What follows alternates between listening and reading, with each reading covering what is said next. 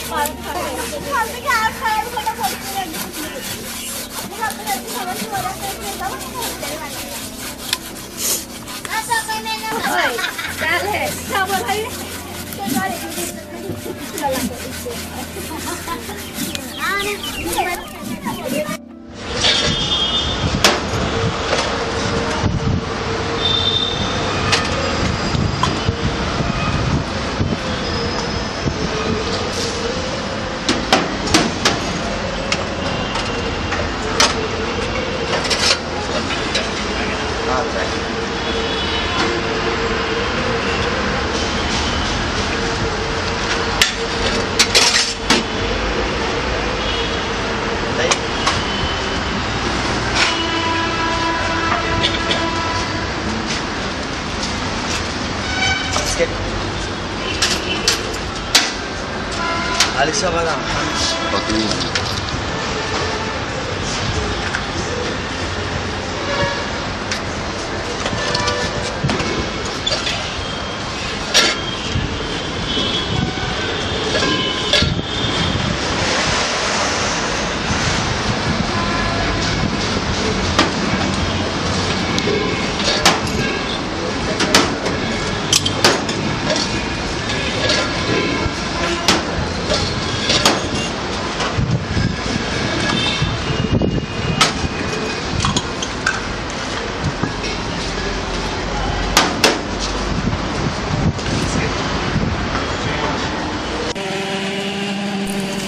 ఇక్కడ ఏం చేస్తున్నారు? వీళ్ళు చేసే దాంట్లో ఏ ఏ పదార్థాలు కలిసి ఉంటాయి?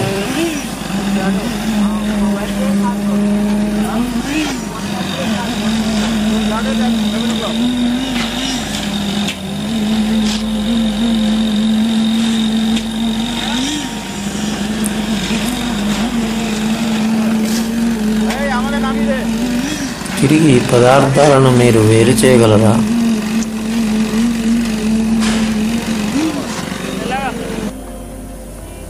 ఇక్కడ కనపడుతున్న రకరకాల స్వీట్లను చూడండి.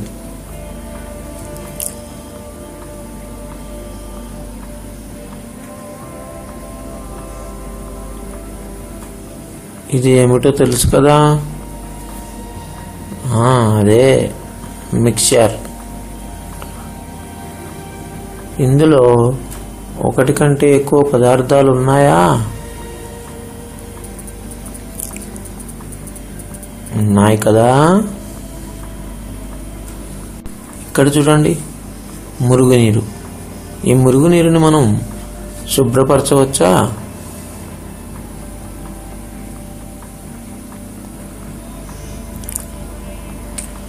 మనం చూసిన వీడియోలో లడ్డు తయారీకి కావాల్సిన పదార్థాలు ఏమిటి? అలాగే అగరవత్తుల తయారీలో ఒకటి కంటే ఎక్కువ పదార్థాలు వాడారా? టీ పొడిని ఎలా వేరు చేస్తున్నారో చూసారా కాంక్రీట్ తయారీ తయారీలో వాడే పదార్థాలు ఏమిటి? మిక్చర్లోని పల్లీలని వేరు చేయాలంటే ఏం చేస్తాం?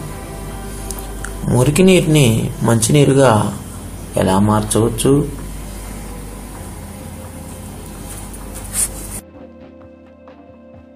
మనం చూసిన అన్నిటిలో ఒకటి కన్నా ఎక్కువ పదార్థాలు ఉన్నాయి అలాంటి వాటిని మిశ్రమాలు అంటారు. మనం చూసిన మిశ్రమంలోని ప్రతి వస్తువును వేరు చేయవచ్చునా? అలాగే అన్ని మిశ్రమాల్లోని వస్తువులను ఒకే విధంగా వేరు చేయవచ్చా? ఈరోజు మనం మిశ్రమంలోని వస్తువులను వేరు చేసే పద్ధతుల గురించి తెలుసుకుందాం. అందులో ఎన్ని రకాలు ఉంటాయో చూద్దాం. చేతితో ఎరివేయడం. చూడండి. ఆ బియ్యంలో ఉన్న నలకలు నల్లని పదార్థాలు చేతితో అలా వేరు చేస్తూ ఉన్నారు. పదార్థాల్లో వాటికి సంబంధం లేని వాటిని ఇలా చేతులతో వేరు చేయడం ఒక పద్ధతి. తూర్పార పట్టడం. తూర్పార పట్టడం అంటే ఏమిటో చూడండి. ఇలా పోస్తూ ఉంటారు. గాలికి తేలికైనవన్నీ కూడా అలా దూరంగా వెళ్ళిపోతూ ఉంటాయి. చూశారు కదా? ఇక ఇక్కడ ఏం చేస్తున్నారు చూడండి. చాటతో చెరగడం. చెరగడం అనేది కూడా చెత్త తేలికైన వాటిని తొలగించడానికి ఉపయోగపడుతుంది. ఇలా పనికిరాని వాటిని కూడా వేరు చేస్తూ ఉంటారు. ఇదొక పద్ధతి.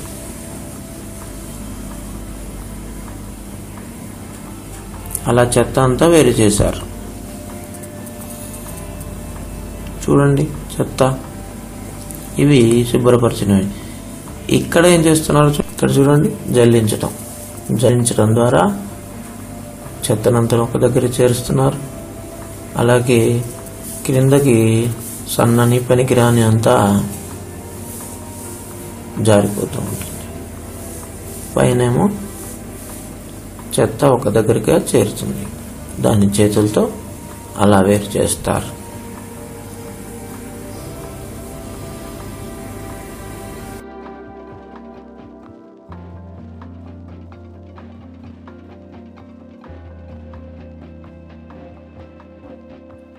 క్రోమటోగ్రఫీ. ఇప్పుడు క్రోమటోగ్రఫీ ద్వారా ఎలా రంగులను వేరు చేయవచ్చో తెలుసుకుందాం. ఇలా మూడు వడపోత కాగితపు ముక్కలను తీసుకొని వాటిపైన మనకు నచ్చిన రంగులతో చుక్కలు పెట్టాలి. ఇలా ఒక గ్లాసులో నీటిని తీసుకొని ఆ నీటిలో ఈ కాగితపు చివరి అంచులు అంటే ఇంకుకు తగలకుండా ఉండాలి. అలా ఉంచినట్లయితే కొద్దిసేపటి తర్వాత ఇలా రంగులు వేరు చేయబడతాయి. ఇది మరొక పద్ధతి.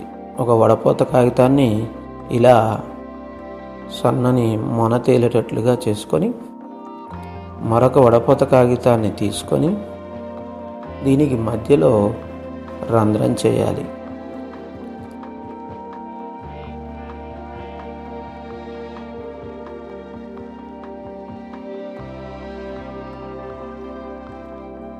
ఈ రంధ్రం చేసిన తర్వాత ఇలా రంగురంగుల స్కెచ్లతో మనము ఆ రంధ్రం చుట్టూ గుర్తులు పెట్టుకోవాలి. ఇప్పుడు ఇంతకుముందు చేసుకున్న మొనతేలిన కాగితం వడపోత కాగితాన్ని ఆ రంధ్రం గుండా ఇలా దూర్చి ఈ అమరికను నీళ్ళు ఉన్నటువంటి గ్లాసులో పెట్టినట్లయితే మనకు కొద్దిసేపటికి ఆ చుక్కలలోని ఉన్న రంగులు వేరు వేరుగా విడిపోతాయి. ఇలా చక్కటి ఆకారాల్లాగా కనపడుతూ ఉంటాయి. కాగితపు క్రోమటోగ్రఫీ చక్కటి ఆకృతులను మనకి ఇస్తుంది.